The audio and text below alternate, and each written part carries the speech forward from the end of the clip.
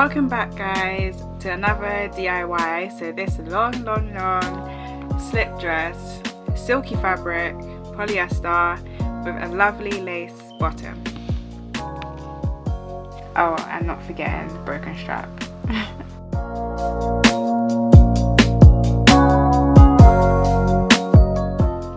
okay, so now with the dress being inside out, um, we can feed through the broken strap and then we'll be working with a fixed dress.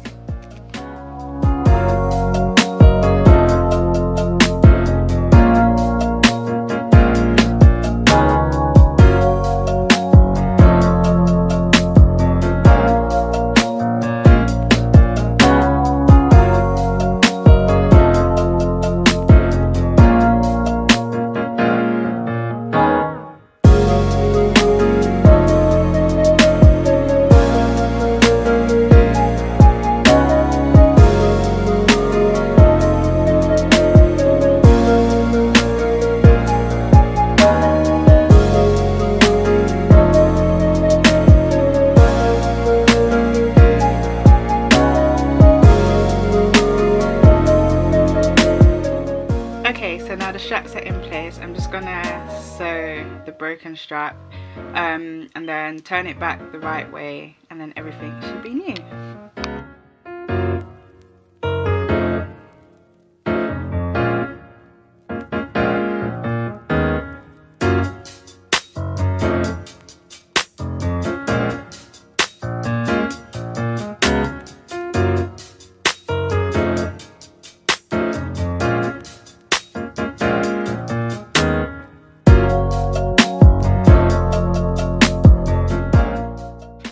Okay guys, so now um, working with the full slip, I'm going to remove the lining from the dress just to let you know that I did change my mind about removing it later on. Because this um, slip is actually quite long, I am going to measure from the strap, like that corner point, kind of down to whatever length I want the top to be. Whatever is remaining would be for the skirt but do adjust this to you. For example if you do have bigger boobs I would suggest make a longer top and have a shorter skirt. So just do this according to your body shape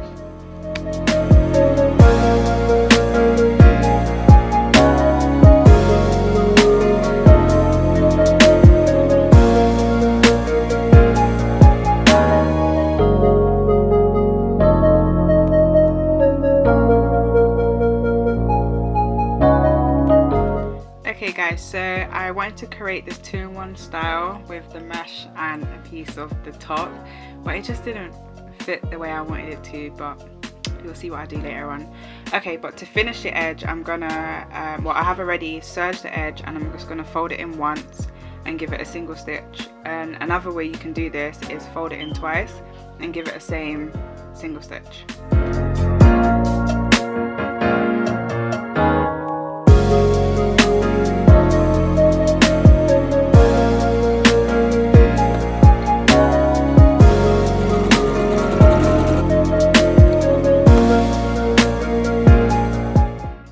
So remember that long slip we had? I've cut it off because it didn't fit very nice. It wasn't a nice idea that I had, so this is why we're changing it up. Um, and yeah, so this is the top done by itself, which is really cute. And we're gonna add some tassels. These are quite long, um, so it does give and like literally double the length to the top. So what we're gonna do, um, I'm gonna decide whether I want the outside of the tassel on the outside on the inside. You'll see what I'm trying to do here. Um, but regardless however you want it we're going to pin it all the way around um, and just make sure that you overlap the edges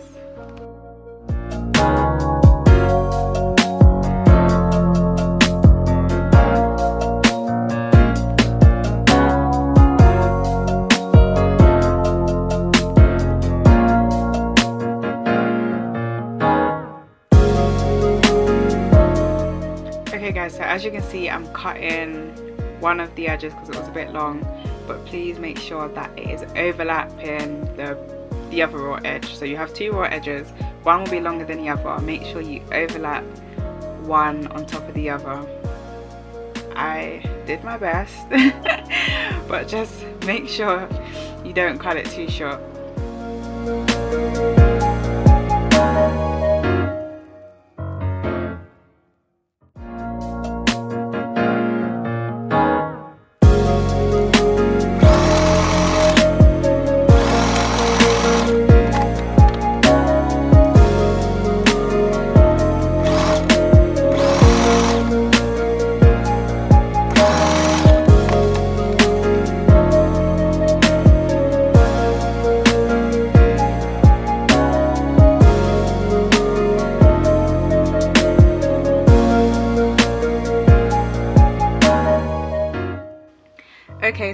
Preview of what I got. I proper don't look impressed.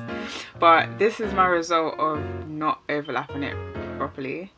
I'm gonna try to fix it. I did my best, like I said. But yeah, it's fine. Um, it could have been worse, but just at least show you what happens when you really just don't overlap it. You just get this gap that it just, yeah, you, you gotta make it look seamless. That's one thing I go by with sewing. It has to be seamless.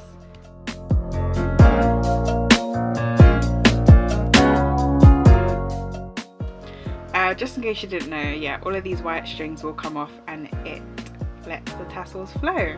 But yeah, it's really helpful obviously when you're sewing it, it just doesn't get in the way and just holds it together while you're positioning. And here is the final look guys. I really hope you enjoyed this DIY.